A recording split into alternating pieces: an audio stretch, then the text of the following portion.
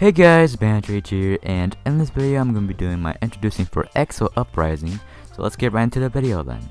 EXO Uprising is a team that consists of content creators, snipers, trick and other things that you look for in a team. The purpose of EXO Uprising is that it helps small YouTubers grow like me to more exposure to new people. I am joining as a content creator and I will be bringing curated content and other games as well. I appreciate the leaders gave me this opportunity to be able to be an EXO Uprising to help produce better content for my channel.